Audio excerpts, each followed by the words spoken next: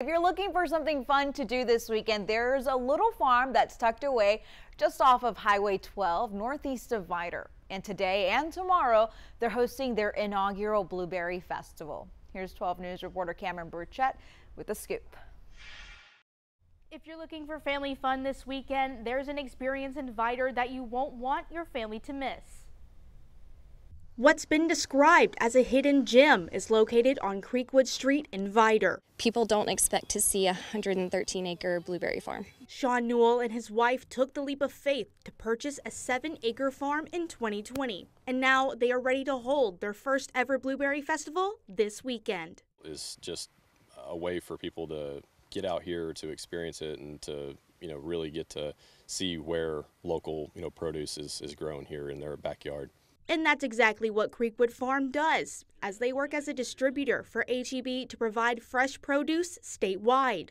We would produce about 75,000 pounds of fresh blueberries a year. To put that into perspective, that's almost the equivalent of seven elephants. But not only is the farm local, it's centered around family. My mom, dad, and uh, three of my four sisters here, and they all help in some way. Sean's sister, Elizabeth Campbell, is the event coordinator for the festival, and she has quite the list of festivities. We are going to have almost 80 vendors.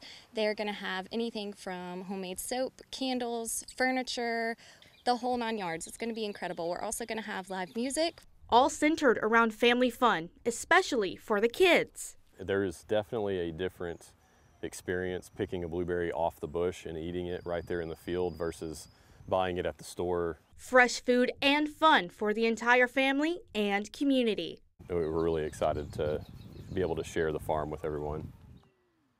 The festival started today at 9 a.m. and runs until tomorrow evening at 6 p.m. For more information, head to 12newsnow.com. In studio, Cameron Burchett, 12 News.